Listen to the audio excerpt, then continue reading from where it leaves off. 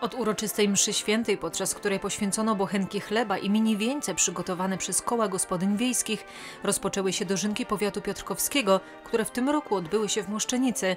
Kazanie w kościele pod wezwaniem podwyższenia Świętego Krzyża wygłosił ksiądz dr Jacek Kacprzak. Chleb, który trzymam w ręku, którego ciężar i wagę znam, bo trudzę się na woli. Nie może być chlebem, który tylko trzymam dla siebie, ale ma być chlebem, który jest gotowy do tego, żeby być podzielony. Uczestnicy uroczystości w barwnym korowodzie przeszli lub przejechali do Moszczenickiego Amfiteatru. Starosta Stanisław Cubała i wójt gminy Marceli Piekarek uroczyście powitali mieszkańców. Święto rolników ziemi piotrkowskiej Moszczenica 2017 uważamy za otwarte. Później przyszedł czas na pokrojenie dożynkowych bochnów, chleba i poczęstunek. Na starostów tegorocznych dożynek wybrano wyróżniających się gospodarzy Anetę Derendarz z Sierosławia, hodowcę trzody chlewnej oraz Andrzeja Parasa ze Skotnik, specjalizującego się w hodowli bydła. Prowadzimy gospodarstwo rolne e, o powierzchni 30 hektarów, e, e, hektarów wraz z mężem Mariuszem.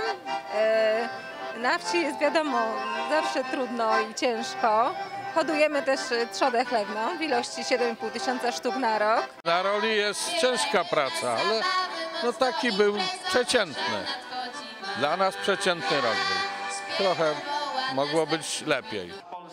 Jak zaznaczał starosta Stanisław Cubała, w powiecie piotrkowskim ze względu na dość słabe gleby praca rolników została skierowana na różne tory i to się opłaciło. Jesteśmy w końcu powiatem e, ziemskim e, i zajmujemy w produkcji trzody chlewnej pierwsze miejsce e, w województwie. Być może dla środowiska jest to trochę uciążliwe, niemniej jednak produkujemy 6% trzody chlewnej w skali kraju. Jest za co podziękować, dlatego że oni tutaj pracują na bardzo słabych ziemiach, bo 43% to są ziemie klasy piątej i szóstej, czyli tej najsłabszej.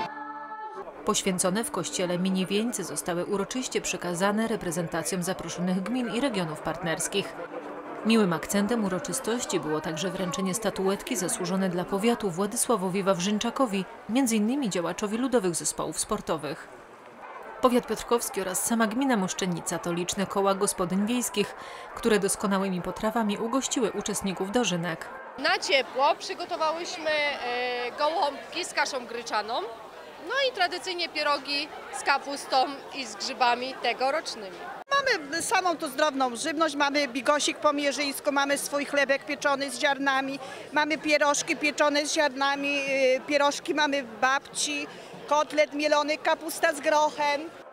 Uginające się od smakołyków stoły były miejscem, którego nikt nie mógł sobie odpuścić. Ciasta próbuję, bardzo smaczne. I podziwiam, że aż tyle przygotowali. Najbardziej się podoba chyba scena wszystkim. Tam są fajne występy, fajne, e, fajne zespoły występują. No i za, int- zainteresowanie ludzi chyba jest e, pozytywne. Dożynki w Moszczenicy zorganizowano nie przez przypadek. Gmina chciała pochwalić się sukcesem w pozyskaniu unijnego dofinansowania na stworzenie strefy inwestycyjnej. Zaprosiła władze kościelne i parlamentarzystów, by symbolicznie wbić łopatę pod planowaną budowę na terenie byłego zakładu przemysłu bawełnianego. Teraz ma konkretną wizję dla tego miejsca.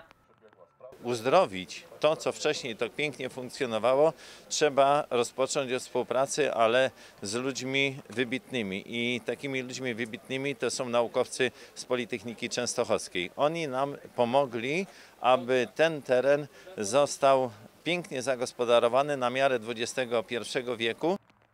Zagospodarowanych zostanie 6 hektarów gruntów. Powstanie też budynek o powierzchni 1000 metrów kwadratowych. Zaplanowana na dwa lata inwestycja ma kosztować 6,5 miliona złotych. Dofinansowanie z Unii wynosi 4 miliony 300 tysięcy złotych. Pozostałą kwotę gmina zabezpieczyła we własnym budżecie. Po uroczystej części dotyczącej gminnej inwestycji zabawa trwała w najlepsze. Na scenie prezentowały się liczne zespoły wykonujące ludowe pieśni i tańce. Do występów zaproszono też artystów z Mołdawii i Węgier, partnerskich regionów, które wraz z władzami gościły na dożynkach. Gwiazdą niedzielnego wieczoru, która do amfiteatru ściągnęła rzesze fanów, był Sławomir. Ja,